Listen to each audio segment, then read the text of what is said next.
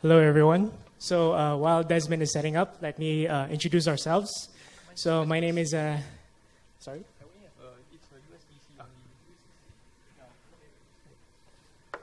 So a bit of delay, but uh, yeah, my name is Anton, and this is Desmond.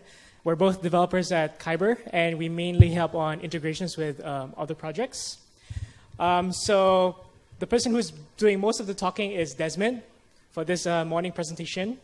Um, we did a rock, paper, scissors earlier this morning, and he lost. So he's doing the presentation. but I'm doing the workshop later this afternoon. It's at 3.30. And if you are curious on how you can use Kyber in your project, like uh, accessing liquidity or even like a building a reserve for contributed liquidity, uh, please attend. And I will um, show you the different tools on how uh, you can use the different aspects or tools of Kyber in your project. Yeah.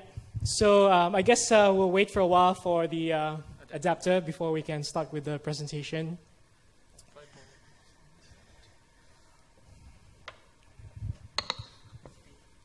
Oh, and it's our first time here in India, and we're loving it so far. So yeah, really looking forward to you know trying out the different food and uh, yeah, different sites.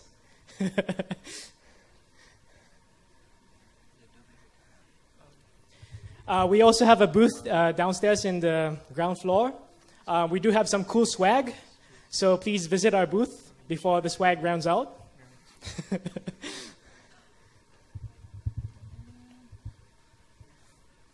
Okay, without further ado, um, please welcome Desmond talking about on-chain liquidity. How do I present? Oh, huh? I forgot how to present for a moment. Okay. Um, hi, testing one, two, three. So thank you, Anton, for that uh, wonderful introduction. Hi, uh, my name is Desmond. I'm here to. Uh, it, it's really great to be here in India. Um, first time, like Anton said. So I'll be talking uh, about on-chain liquidity provision for the decentralized economy. So I suppose the first question I want to ask is, how many of you have heard about Kyber Network? Wow, okay, uh, that, that's, that's really good. That's about like half of y'all. Um, so for the rest of you that don't know about us, um, let me try to briefly explain the problem that we want to solve. So in on Ethereum, um, with Solidity, with Vyper, with smart contracts, you're actually able to create your own token, right? And we've actually, actually seen a multitude of uh, tokens that have been created by many different people, right? So for example, we have uh, Omisego, we have KNC, that's uh, our own token. We have stable coins like DAI, TUSD, USDT, PAX, USDC, SUSD, and USDS, and I, I mean, just go on and on with uh, the USD stablecoin right? And you also have uh, application-specific uh, tokens like uh, BAT as well.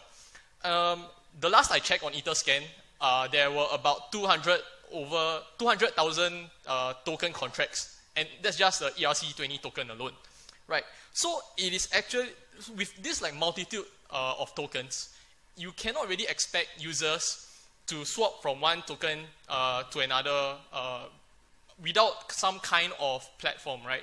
So that's ex exactly what we try to solve here at Kyber, that we aggregate liquidity to power token swaps in any applications. So for your users, all they need to do is to integrate, uh, all, all you need to do uh, as you build your application, just integrate with us and your users will be easily able to swap from one token to another. So for example, from Ether uh, to DAI, right? Um, so this is kind of how uh, our structure works we have makers and takers. Uh, in our terminology, makers are liquidity providers. And that will be the highlight of my talk today.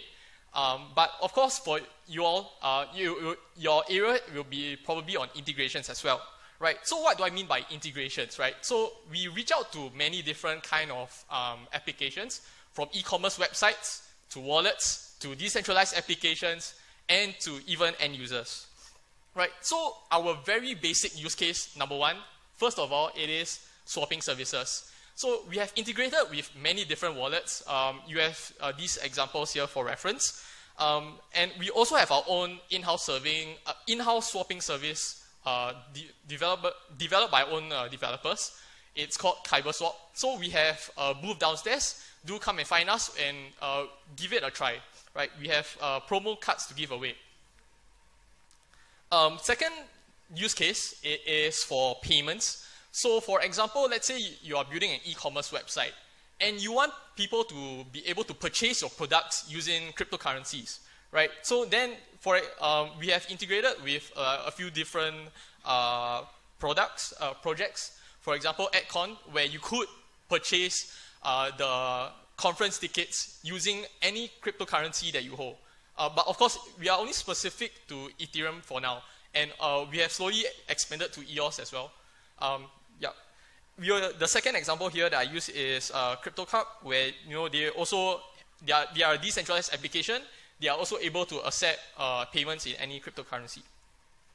Right, and of course, uh, the third kind of broad category that we look at is financial applications, DeFi, right? So over here, I give two examples. The first is Nuo. It is a margin trading protocol that uh, have integrated with us, and using us, they are able to kind of allow users to leverage, right, and to have uh, margin trading. The second example here is Set Protocol, uh, where they allow for ba different baskets of tokens, and they create products out of them, um, and they use us for rebalancing purposes to rebalance between one token to another, right? Um, of course, this is just a brief uh, ecosystem map of the different applications that we have uh, integrated with, right? So, uh, do, as Anton has mentioned, later we have a workshop at 3.30. Um, do check it out. I think the most important lesson that uh, we have realized is that for decentralized applications, they need liquidity on chain immediately. You need it there and then. And for in order for that to happen, really we have to work with uh, different providers, and there are there are many different like reserves types that we have. Um, so so the really the question is how do we provide liquidity on chain, right? Um, so we have different reserve types. Um, so different reserves could offer different token pairs. For example, the first reserve you see, it offers like the DAI token and Maker token. Another reserve could be offering KNC and BAT tokens. All these are quoted against uh, ETH. And so today I'd like to talk, briefly run through with you the different reserve types uh, that we have. First of all, it is called the Fed Price Reserve. Um, this is, uh, how it works is that it has an off-chain component and an on-chain component. So the on-chain component are smart contracts. One is to hold the inventory, the tokens uh, inventory. That's the Kyber Reserve uh, smart contract. The second is the pricing contract. That is our conversion rates uh, contract over there. Right? And, and the third, is sanity rates, is kind of like uh, kind of just to make sure that the rates that are being set uh, doesn't exceed certain thresholds. Right? So uh, this off-chain component, what it does is it pulls feeds from your centralized exchanges, pulls feed from data that cannot that isn't found on the blockchain, right?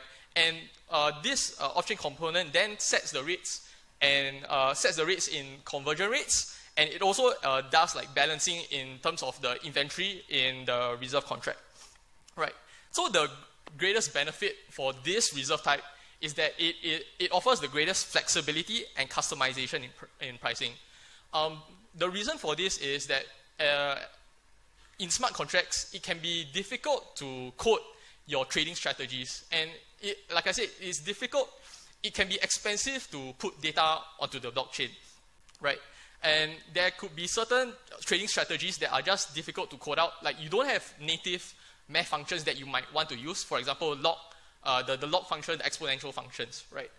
Um, so that so if you are able to compute that off-chain, you're able to pull data off, uh, from all these different sources. Then you put it on-chain. Um, that's kind of what we are offering with this reserve type. And the second benefit here is that the it, for this reserve type, it's able to set pricing for multiple tokens. As compared to the other reserves, you are only able to set price for one token.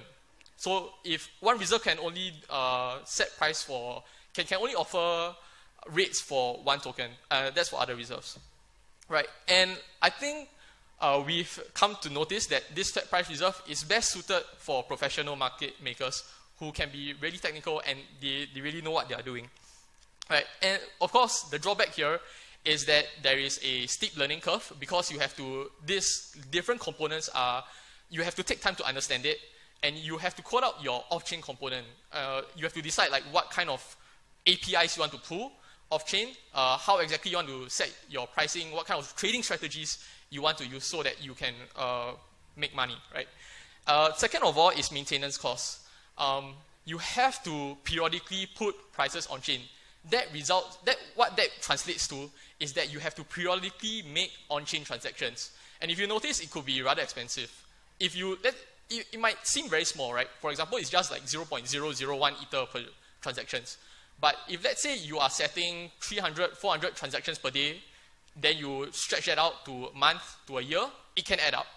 So it, it is a drawback that uh, market makers have to take care, to take into consideration. Now, the second uh, reserve type that we offer mainly to project teams is what we call the automated price reserve. What it is, it's kind of how Bancor and Uniswap uh, models work, where the prices will automatically adjust after every trade. All the user, all, all the reserve manager needs to do is to set uh, his set initial parameters. Right. Um, so, like I said, he just needs to set the initial parameters and then just leave it to run, um, and it will work like magic. Um, also, there is low maintenance and deployment costs. So all he needs to do is deploy the reserve contract, deploy uh, the liquidity conversion rates contract, and leave it to run. Um, the drawback here is that you are relying on the pricing mechanism that we created, so you don't really have control over it. It only works for a set price range, as compared to, say, Uniswap that can work for kind of an infinite price range. Uh, here, you kind of have to define your pricing uh, boundaries. And the third drawback is that it requires a high uh, initial inventory. So there is kind of a high initial capital that you have to start off with. Now, the third uh, reserve type that we have is the order book reserve. It allows anyone to market make by placing limit and buy sell order. So this is your traditional order book uh, reserve that you typically uh, see on, for example, uh, on centralized exchange, exchanges like uh, Binance and Huobi. Right. Um, it is our first permissionless reserve type. What that means is you don't have to come to us to Kyber. Uh, you have to talk to any of us, uh, to either me or Anton. You can just uh, interact directly with the smart contract and your reserve will automatically be listed. Uh, it also allows for the community to contribute liquidity. Instead of it coming from your own pockets, uh, different people are able to interact with the smart contract that you have deployed. They put their liquidity, they state the, their prices over there. And of course, uh, currently the drawback here is that it is uh, quite cumbersome to use. So that's why we are offering a bounty. If you are able to improve the process, yeah, go ahead. Uh, finally, we have what we call our integrated reserves. So these are viable liquidity pools that have been built by other companies. So let me just quickly give you three examples. First of all, it is Uniswap. Uh, they're pretty popular, where you, they are able to just contribute whatever liquidity you have, and you put in your money there. It's kind of like passive income. After a while, you take it out, uh, and your money grows. Yay. Uh, second of all is uh, DutchX. This was built by Gnosis. Uh, and finally, you have uh, ETH2DAI. They, so the ETH2DAI is kind of was previously known as the Oasis DEX, right? Um, how we kind of connect with these different projects is what we we just write a what we call a connector or yeah, a, a hybrid contract that conforms to this uh, reserve interface that follows that just implements these two functions in uh, the Solidity smart contract. And actually, if you want to build your own reserve type, um, if you have some ideas onto how you want to contribute liquidity, you really all, all you really need to do is just to implement this uh, reserve type. So this information is actually available on our developer portal, right? Um, I like to talk about the issues to. Uh, I like to move on to talk about issues that you should consider when you're building your decentralized application.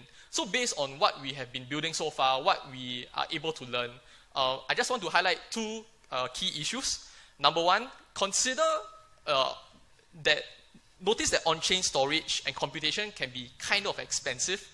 So consider what kind of data do you really need to put onto the blockchain. You don't have to put everything onto the blockchain, uh, as opposed to what some people might think. Um, and really like in terms of computation, do you are you able to perform the computation off chain instead of on chain, right? Um, so that's one issue that you want to think about. Are you able to say reuse storage slots in your smart contract instead of having to always uh, reuse uh, to use new ones? Now the second issue that uh, I like to highlight is transaction speed. as you have noticed, um, transactions can take a while to mine. So it, this really kind of translates to a not very nice user experience. Um, so maybe consider the case where you don't really need to interact with, try, try to separate your, um, your application or design your application such that you don't have to interact with the blockchain too much. Or maybe consider doing kind of like batch transactions or back, uh, do your, your actions in, in batches. Um, so finally, I'd like to highlight, do check out our developer portal, developer.kyber.network. We are also offering bounties. Um, so check out the link over there, or you can talk to either me or Anton. And finally, uh, join our Telegram groups. So anyone has any questions? Uh, I take that as no. Okay, so thank you everyone.